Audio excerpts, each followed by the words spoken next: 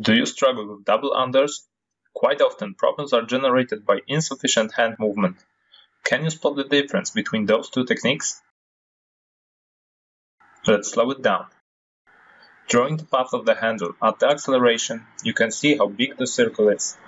The longer the leverage, the bigger the force, and that means less effort put in each double under. Though it's hard to see while jumping, we can easily understand it using some stick or bat. That's the short motion, and that's the big one.